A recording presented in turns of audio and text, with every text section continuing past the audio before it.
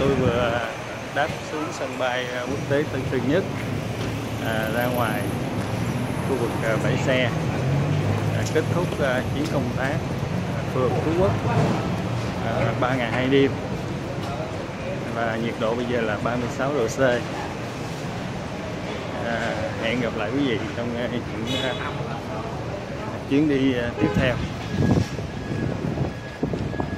Đây sân bay quốc tế Tân Sơn Nhất thành phố Hồ Chí Minh Sài Gòn Việt Nam.